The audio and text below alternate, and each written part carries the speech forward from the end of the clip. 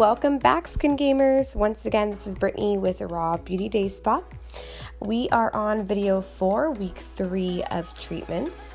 This week, we are staying on the process of going aggressive with our case study and client Mark. What we are going to be implementing today is a product to be respected. It's called Alkaline Wash. Alkaline wash could be used for many things resurfacing, hair removal, etc.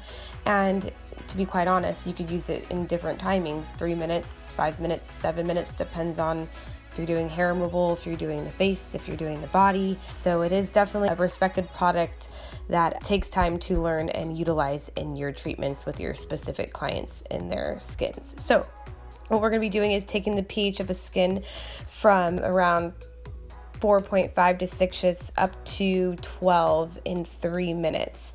And when that happens, the skin dissolves and softens. What we could do when that happens is we're basically doing a resurface, which will improve the color and texture of the skin.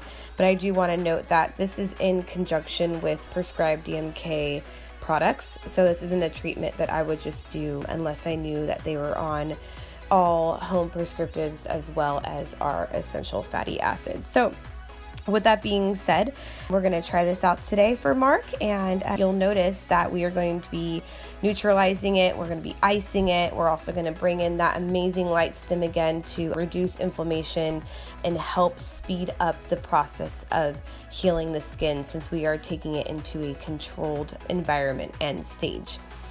So we shall see how this goes. I'm excited. He's excited. So please tune in next week. Can't wait to see what we have in store. See you then. Bye.